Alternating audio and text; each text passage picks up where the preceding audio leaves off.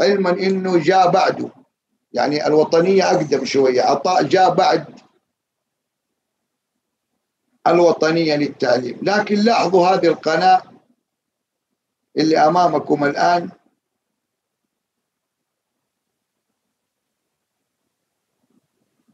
أعتقد إنها قناة واضحة وأعتقد إنه نسب فيبو واضحة.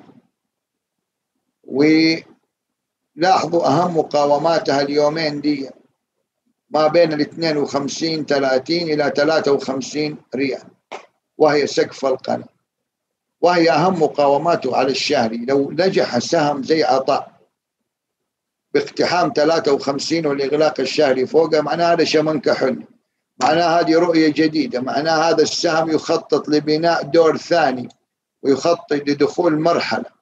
والله ممكن تكون أبعادها زي ما أنتم شايفين على ال 261 في قريب ال 63 10 هذه إذا ما كان بنينا له دور وكانت أبعاد الدور فين؟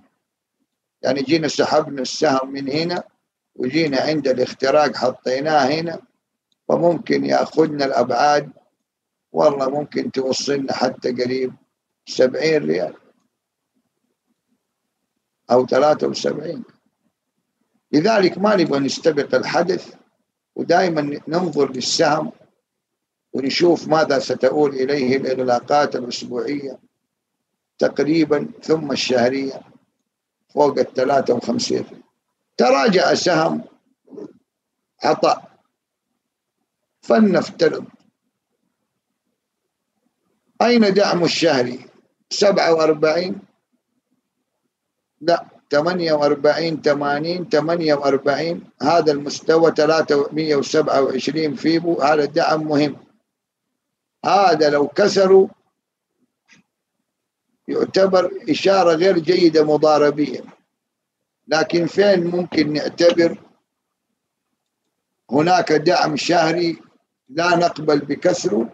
داخل هذه القناة يوجد مسار وهذا المسار لا أعتقد أنه يكسر بهذه البساطة حتى تكسر القمة المخترقة قريب ال 45 75 أو 46 ريال.